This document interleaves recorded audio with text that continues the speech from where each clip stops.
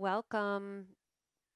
This is Jacquie Ruderman, and today's practice is going to be focusing on the spleen and the stomach, the earth element. Right here, you have the picture of the spleen meridian, and it's uh, a yin meridian to the yang stomach yin meridians start from the earth. So you see it, it starts from the inner side of the big toe, uh, moving up the leg.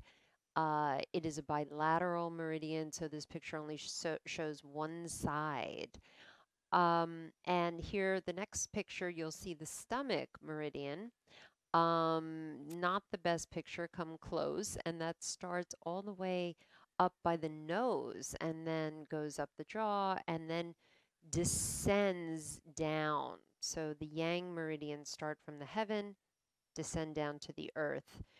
Um, the element of the stomach and spleen is the earth, as I said, and the um, arch archetypal uh, element is the figure of the mother our first source of nourishment. And this idea of nourishing ourselves is very important in the stomach and spleen relationship in Chinese medicine. And uh, today we will be working with that, and I will be pointing out uh, some very powerful um, acupressure points. So I hope you enjoyed today's class welcome. And we will start with uh, Virasana Hero's Pose today um, because the meridians that we're working with, the stomach and the spleen, are through the uh, tops of the thighs. And I will go over that today. But if you are having knee issues, then take two blocks because this is really quite a therapeutic posture for the knees. Um, a lot of knee problems really start in the hips. It's more about the hips. And uh, then they are felt in the knees. So the yin practice really addresses a lot of hip issues. But for now, um, unless there is some major problem that you're going through, bone on bone or, or whatnot. But if this is okay, start in hero's pose, either one block or two. So today, my friends, we are doing stomach and spleen. And the stomach meridian is, and the spleen are all about the earth. And it's the essence uh, in Chinese medicine is this idea of a mothering energy. And we've all come from mothers. Some of us are mothers. And um, no matter what your relationship to your mother has been in the past or is now, or if your mother is in the spirit world, um, they did carry you for nine months. And so it's this real nourishment kind of a quality. And I wanted to go back to the earth today because this is what we have and our body is made of many elements of the earth and i am starting today's practice with a radical poem. It's not that radical but it's an oldie but a goodie and i have been really focusing on nature my body um, to bring myself back and poetry. So we have not come to take prisoners. This is Hafez. So close your eyes and just take in these incredible words that were written, you know, so many, like a thousand years ago. We have not come here to take prisoners, but we've come here to surrender ever more deeply to freedom and joy. We have not come into this exquisite world to hold ourselves hostages from love. Run, my dear, from anything that may not strengthen your precious budding wings. run like hell, my dear, from anyone likely to put a sharp knife into the sacred, tender vision of your beautiful heart. We have a sacred duty to befriend those aspects of obedience that stand outside of our house and shout to our reason. Please come out and play, for we have not come here to take prisoners or to confine our wondrous spirits. We have come here to earth to experience ever and ever more deeply our divine courage, freedom, and light. Ah. So just take a moment and if you're able, take the arms overhead, interlace the fingers and take them out in front of you. And then find the um, bones, the humerus bones in the shoulder joint and just ground down into the sit bones as you bring yourself up. And then release the hands. I just want to bring up just two mappings that I will be talking about today. So you have your as is point, your hip, and the spleen line. If you imagine that this is 12 o'clock on, uh, you know, a clock, the spleen line is at the um, two o'clock, where the other, it would be 2 p.m. And then it comes down the leg on the outside of the kneecap. The stomach meridian is, if this is 12 o'clock, your as is point, is at 10 o'clock. And it comes down the front of the leg on the outside of the kneecap. So I'll reference that, but we're going to start again two blocks. Where's my other block? There it is. And some of you don't have two blocks. So you'll take a pillow behind your head or an extra blanket. And today we're going to take our two blocks like this. We're starting out really gently today. We're taking a blanket if you have one. We're putting it on top of the blocks. We're making ourselves a little bolster and I'll move my water here. And we're starting out with the soles of the feet together in Baddha Konasana. And you will see that actually it's going to be, um, yeah, we're just going to have the block right at the lower part of our body and the lowest part of the spine. And just our head is here. Now, if you have the blanket, you will, you can make a little pillow and have the chin sort of face down. So the soles of the feet are together. And I want at first our arms to be crossed, the right arm over the left. And the hands are going to be on the outside of the rib cage. And you'll see this rib cage is somewhat bony, right? So in between each rib, you have what's called the intercostal muscle. And I want you to bring your fingers in between the rib cage. Your, your arms, when crossed, will land at the exact right place of this meridian point. This is a last point on the spleen channel and close your eyes. And I just want you to come into your breath, noticing how the breath will fill up this rib cage area on the inhale. And then noticing how on the exhale it contracts and descends.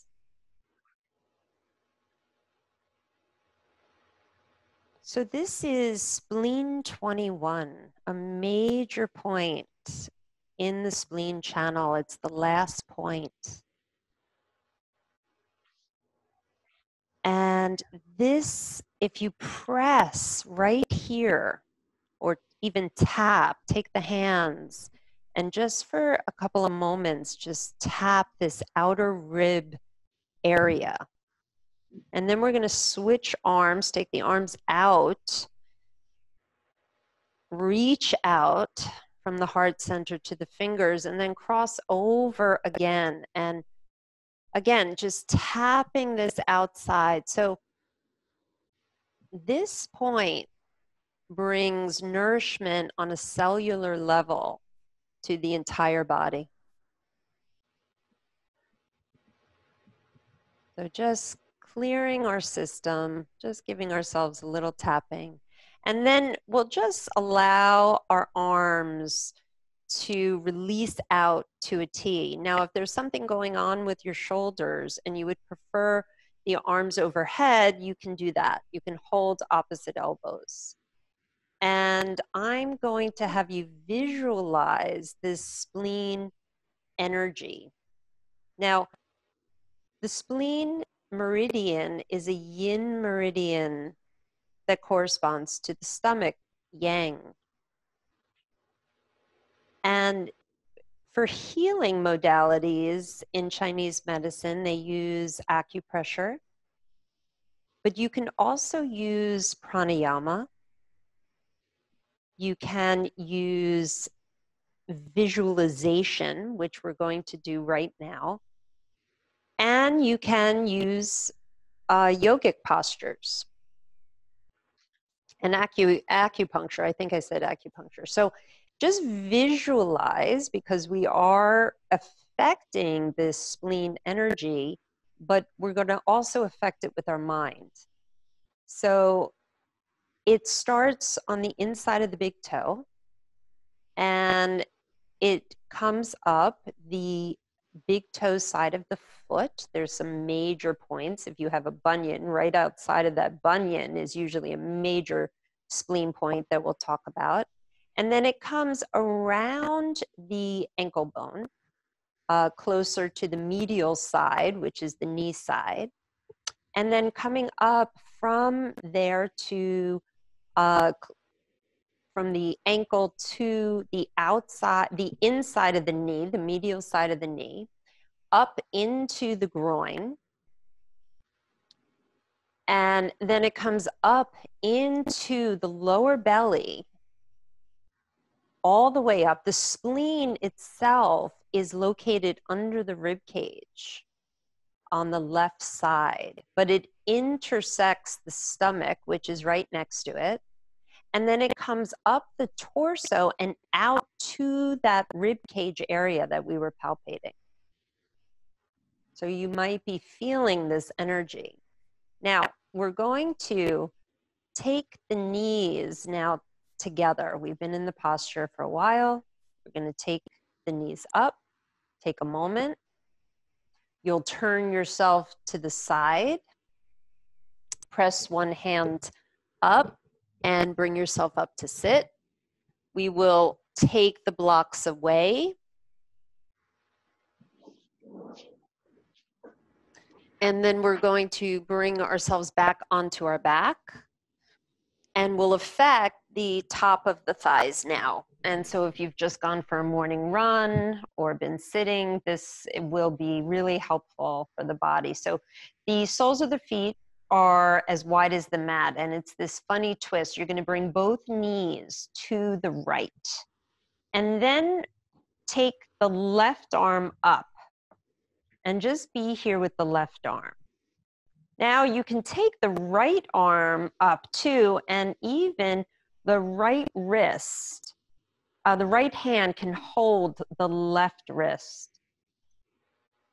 And if you want to give yourself an extra little power acupressure, you can take that right thumb and press the inside of the uh, pinky side of the uh, wrist, which is a heart point, which I'll show you, but you can't probably see me because you're lying down. But it's right the pinky side of the wrist. Just pressing that. And we're going to stay here for a bit. And you'll notice that you're starting to really activate the um, front of the thigh.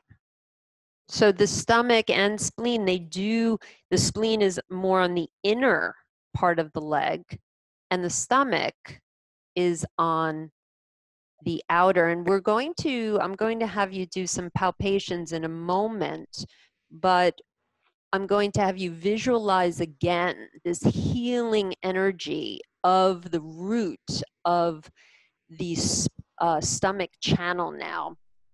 Now, the stomach channel meridian starts because it's yang, starts by the heavens, you know, up in the face. And it's the same um, right near the large intestine meridian where that starts. So think about imagining in your face. And in fact, bring your hands to your face if you can, the left hand maybe, or the or both, and start to press alongside the bridge of the nose, and then move your fingers right under the cheekbone. So this is a really potent point.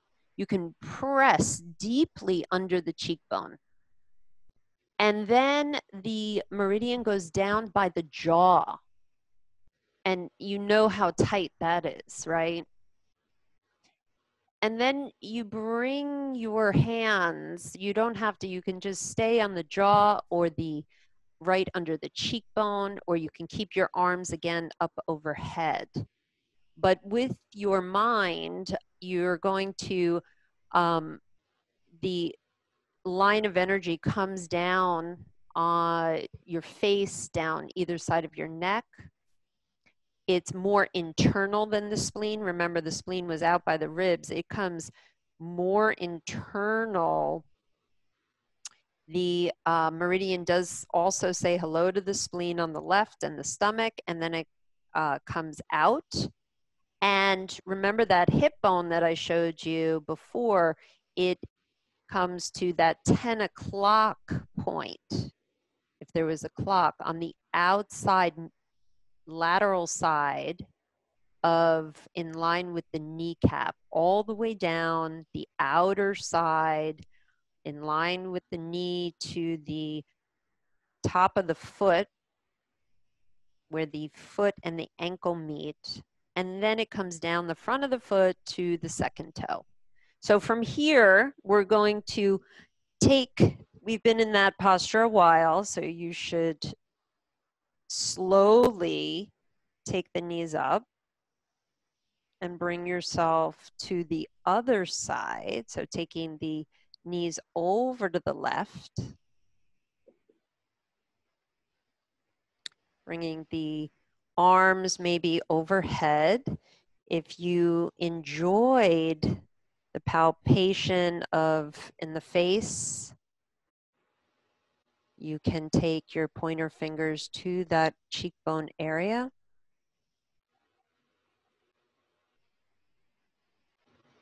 I feel like it's really powerful. The color of the spleen in the stomach is yellow. So you can even imagine breathing in the color yellow. And the quality of working with this energy is to bring us back to the body, to ground the system. When the energy in the spleen and the stomach are scattered, are not well nourished, there is a sense of fogginess in the mind fogginess and anxiety.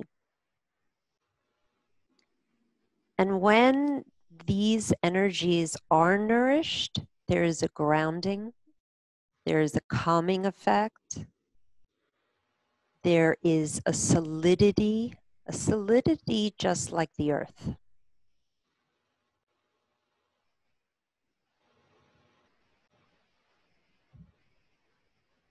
So bringing us back to this body. And so in even in Buddhism, all the Buddha talked about that the first thing that is taught in meditation practice is meditating on this body. The first practice, one of the first practices that are given, it's called the Four Foundations of Mindfulness, is to reflect on your breath and your body. And there is a specific meditation called the 32 parts of the body that you actually go through in your mind the different parts of the body. It's a very grounding practice. So now we're taking ourselves back up slowly, turn to one side, and bring yourself up to sit. Okay, so the next part of the practice, we will take Malasana to really work these hips and also to start palpating in the feet. So if this is too intense for you, you can take a block underneath and still get the benefit of the inner groin. But this really is this is why you know people in third world countries are their hips and knees are so good uh, sitting in this squat position. But it's okay. Don't get down on yourself if that's not a possibility today because this is as powerful.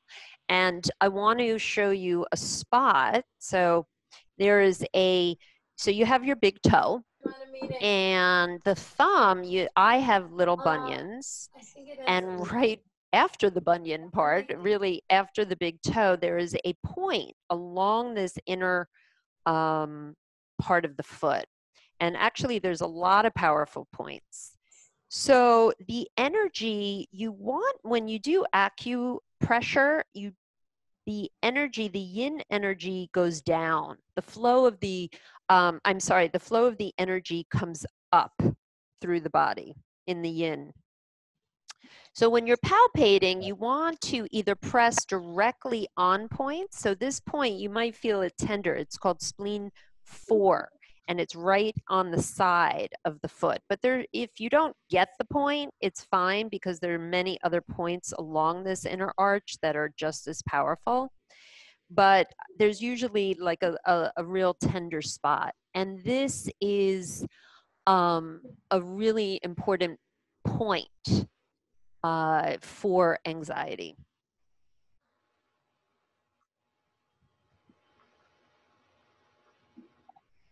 And so just pressing in there. And then if you want to go back to that stomach point, you can take your pointer fingers just here and breathe.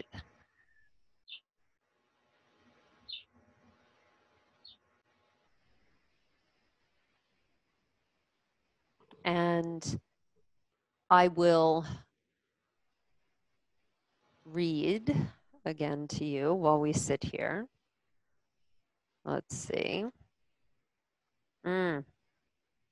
So this idea of the stomach um, energy really clears out our perception. And I found this incredible poem that is so appropriate for what's going on right now really cleaning out our perception. It's by Francois Fenelon.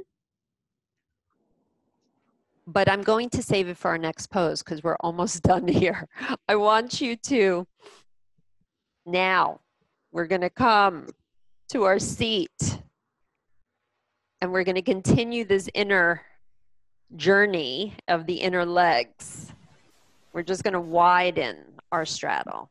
So, for some of us, it is appropriate to come all the way down. For others, if you're dealing with um, some major osteoporosis and your doctor has told you not to come forward, if you feel still in effect with the inner legs, with the hands straight and the spine straight, you can walk your hands forward and just be like this. Um, if there's nothing contraindicated, then come down as far as you can. And if you're absolutely are dealing with a spine issue and you're very flexible and you're not feeling this, this pose, you can do this alternating pose What are you doing? of the legs on a block and the Okay. legs, I mean, the buttocks on a block and the legs far apart. You don't even have to put yourself on a block. This is a great pose. Okay? So we have all our variations and now we stay. So back to the important poem about really clearing out our perception, which is the essence of the stomach and the spleen. As light increases, we see ourselves to be worse than we thought.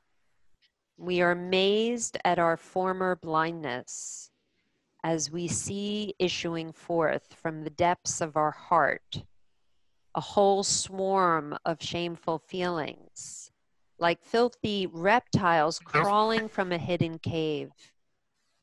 We never would have believed that we had harbored such things, and we stand aghast as we watch them gradually appear. But we must neither be amazed or disheartened. We are not worse than we were. On the contrary, we are better. But while our faults diminish, the light by which we see them waxes brighter. And we are filled with horror, but bear in mind, for your comfort, that we only perceive our malady. We only perceive our malady when the cure begins. We only perceive, we only see our malady when the cure begins. So, even though things in this world do seem intense and volatile and confusing, this is the beginning. This is when the cure begins. So, if you are down on your um, belly, I want you to bring your hands. And we did this on Sunday if you joined me. So, this energy, all of the yin, right, um, is coming from the feet. And I want us to do a little um, acupressure. So, I just want you to take your hand and actually, we're smacking the inner thigh, the inner legs up. We're going to do it three times. That's three. And then on the outside, you really should be doing it 10 times every day. The outside, the stomach energy outside, we're going to smack the top of the thigh and we're going to take it down. And this is the stomach energy. And the way the meridian flows is downwards towards the earth. It starts in the heavens, yang energy starts in the heavens, and it goes down to the earth. Okay, let's do it on the other side. So um, we're bringing the energy, we're nourishing the energy, the yin energy up.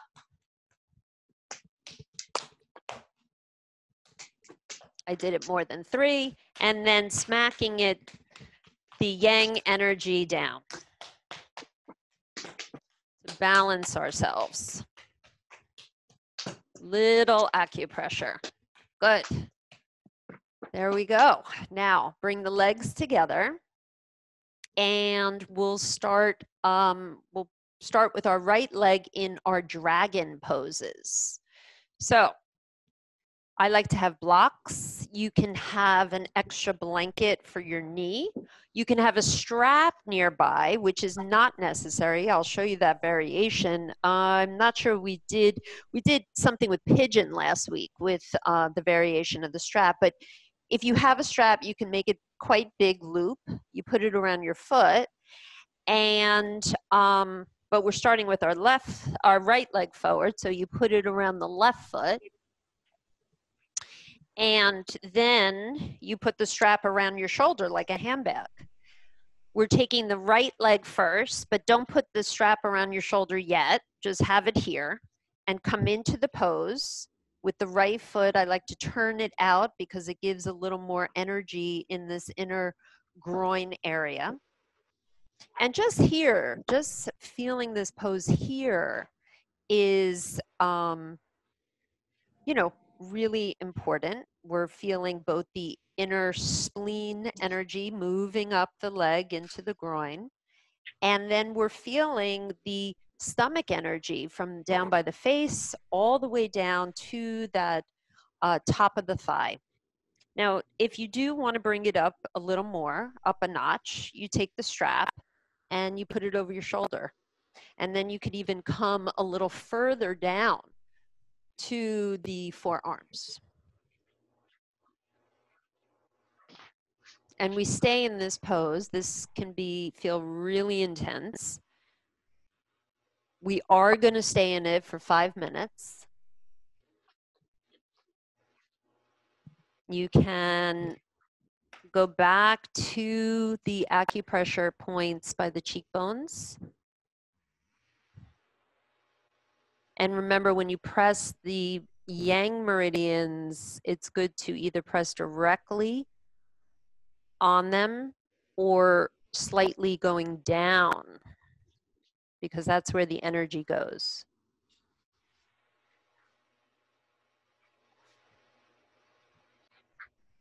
Now, again, you don't need to have this back leg in a strap. The other variation, if you don't have a strap, is to bend the back leg and take the right arm. Then you can even come into that if you'd like. That, that brings some mm-hmm. more energy into the upper chest area where you have the heart and lung meridians. And then you can even start to palpate the feet in between the big toe and the second toe. Those are the stomach and spleen lines. Yeah. Oof, that hurts. I'm going to um, show you some energy lines, another meridian in a second. So between the right knee and the hip, the spleen is that line. That's where it is. So it's sort of on top of this front of the thigh, but on the inside from the knee here. There are really some nice points that you can start to press on this inner part of the body.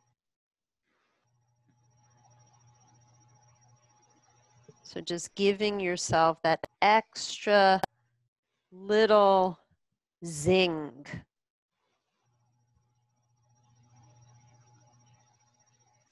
Okay, we have barely a minute left in the pose. So just being here.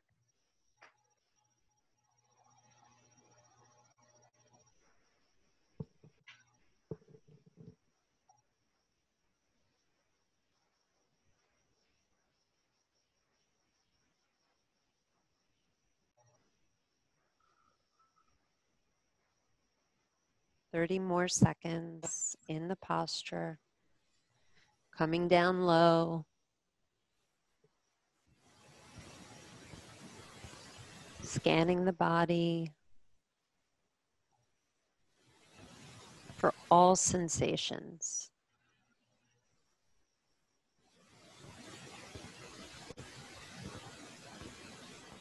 And coming back to this moment. I was mentioning to my mentor, um, someone who I did my teacher training with, my meditation teacher training, and I was saying how we're going to uh, start to straighten our leg now. Come back, straighten the leg. take the right knee back and just sway the hips from the right to the left. You have your blocks here, but you don't need to have your blocks. You can just take your hands down and just, if it feels appropriate for you, taking a downward dog here. Letting the head go. Letting the heels fall down. Taking the knees back. Having the strap ready for the right side if that was interesting to you. Bringing yourself forward to the left side. Taking the left knee, the left foot forward, turning the foot out to the left. Maybe taking the strap in the foot, maybe bringing the strap over the shoulder like a handbag. And again, not necessary. You can land here, and then after a while, take the left arm. So just being here in the posture, you can bring yourself down to your forearms. Stop. Is that you, Snake? Come in, babe. Where's your blanket? No, don't eat that. Hey, Another Here. five minutes. here's your blanket right in the here. posture. We, we've been Come almost, yeah, about a minute so far. Okay. So I was having a discussion with my teacher who ran that program, the meditation program, and um, I said that I wasn't doing, I wasn't meditating. I complained. I said, I don't know, I'm not meditating. And so he asked me, Well, what are you doing? And I said, Oh, I'm doing a lot of yin practice. And so he said, Well, what do you think that is? you know, eh, that is, he's like, That's the practice. That is being still, being in, you know, with your body, having the intention to explore how uh, the sensations in the body are constantly changing, how you are reacting to those sensations. Are they pleasant? Are they unpleasant? Are they neutral?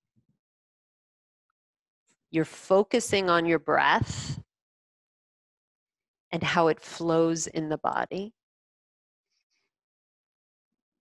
And he just reminded me, you know, the words of the Buddha, you know, everything we need to know about the universe is within. The three characteristics of existence is all you can learn. You can learn about them from this body. And those three characteristics, according to Buddhism, is that there is impermanence, everything is always changing.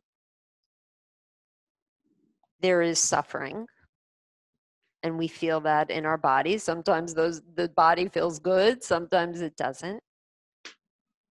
And that the most difficult one to sort of grasp is this the word emptiness but what it means is that our perceptions, what we perceive, is not fixed. And we are seeing that now in our lives. And um, also, this idea I like the idea of emptiness, this made up boundary that we perceive between ourselves and this world and this earth and each other. That there's really an emptiness, there is no boundary. So that's enough. We are starting to straighten that leg. So bringing it out, straightening it.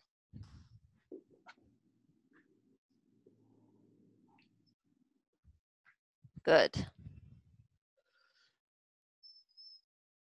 And then again, taking the knee forward, taking the left knee back. Again, coming to a table and just swaying the hips from left to right.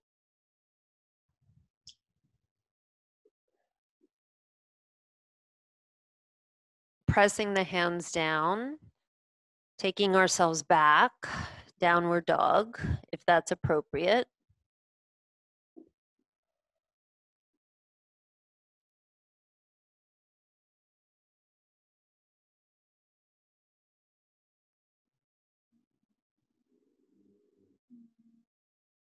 And then taking ourselves down, we're going to neutralize our spine and we'll come down to our back. Last pose. Last two poses. It's an asymmetrical uh, posture. So I'm going to give you um, uh, choices. You can take a blanket underneath your seat, or you can take a block. Now the block will be more intense because I'm going to also give you options. Um, we're starting with our left knee and we're just bringing the knee into the chest and then you'll take the right leg out a bit not that far but you're seeing the left knee is going towards the left side of the chest and the right leg is coming out a little to the right now i want you to feel this big opening in that right thigh now if you want it a little more intense you can take it up a notch Some people take it up way high. I can't. It's too much for me. But if you're feeling like it's more beneficial for you, you can take it up a notch. But just be mindful of any tingling in the bottom of the feet or in um, the hands, actually, it's not too bad. So I'm coming out, but you're staying in.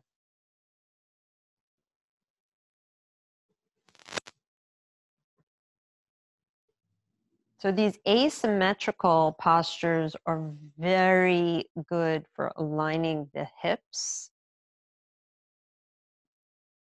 And it's also just another way of um, this is basically dragon pose but on your back.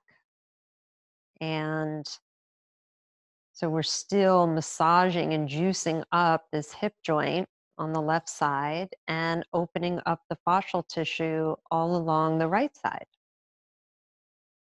So we'll stay there a little bit. Now, when you're holding the left side, the left, I want you to start to, on the outside, in line with that kneecap on the left, I want you to start to, and where the shin bone is, start to walk up and palpate this outer shin kind of area. It's not all the way out on the outer shin. It's in line with that, um, you know, it's called the lateral side. It's not the kneecap near the groin. It's on knee, the knee side of the pinky foot. And you just want to feel these are really potent points. So there is a point. If you take your four fingers from the bottom of your kneecap. After that pinky finger, there is a potent point called stomach 34. that also is like this all inclusive kind of nourishing point, and it's usually quite tender. Maybe you feel it.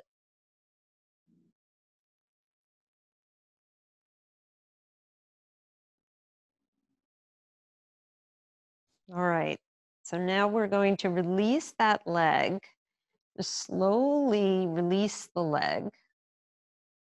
Take a moment, take the arms overhead. And just, we're not staying here, but we're just giving ourselves a little stretch. Just take the upper torso to the right for a moment. Just feel this nice side opening. And then take yourself over to the left. And breathe into this left side. I mean the right side. You, you moved your torso over to the left. And then come to neutral. And we'll bring the right knee up and hug it in. And again, maybe you can bring the knee a little bit over towards the right the left leg a little bit out towards the left.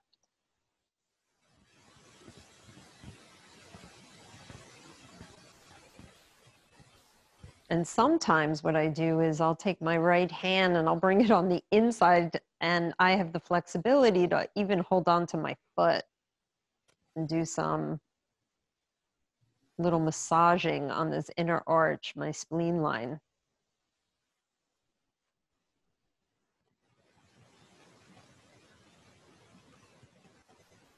But if you're up high on the block, you know, you have all those options. Um,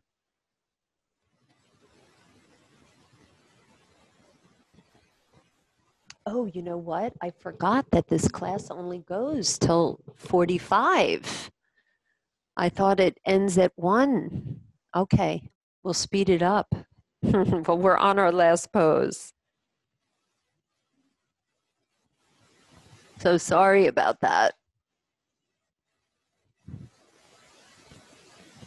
we just have another minute. So I wanted to read um, what the word equanimity actually means. It has to do with clarity and wisdom and with being fearlessly open minded without judgments, desire, or aversion. So, equanimity implies accepting the reality of life's highs and lows, points, and developing an attitude of inner peace, anyhow, amidst the inevitable changes. It entails balancing presence with a forgiving and tolerant heart. And Thich Nhat Hanh says, Our true home is the present moment, whatever is happening right here and now.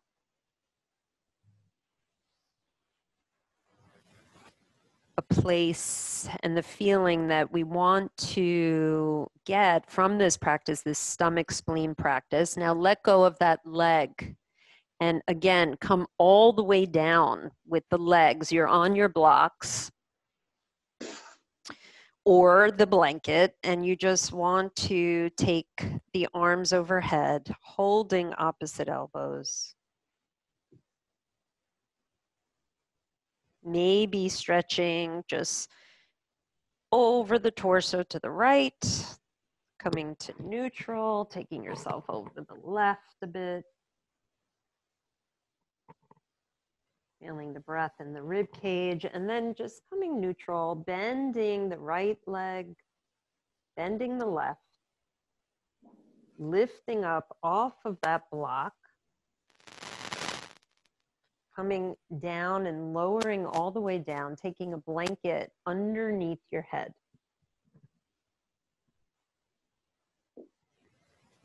And then again, just either keeping the legs bent and the knees in towards one another, that sometimes is really nice for the lower back. Or you could bring the legs straight. Or if you want just an extra two minutes of that meridian, you maybe cross at the shins, Sukhasana. Maybe it feels comforting as we started to hug yourself just for a moment. Feel those outer intercostal points of this spleen, breathing in, into them, this really important point that nourishes the whole body on a cellular level. And then bringing the arms to the side and just resting here. I am getting up, you are staying down.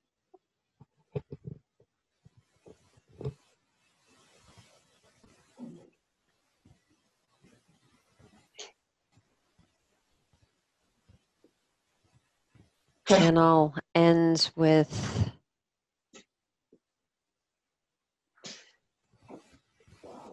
Nancy Wood is called Connections. Every time we take a breath, we become the universe. The very moment of creation is contained in us and passes on to rocks and trees, animals, and fish. The old ones say the essence of life is in water, the essence of life is in the wind, in the earth, in breath, fire, bone, but most of all in the breath. Our first connection to the elk, the hawk, the bear, the buffalo. Without breath, there is no connection. And remember, without connection, there is no creation. Without creation, there is no breath. This is the sacred circle of life unbroken. So, if your legs are not bent, bend them now. Turn to one side. Press your hand up into the earth and allow your head to come up last. And I'm sorry that I went a bit over. I think I only lost one person. and I know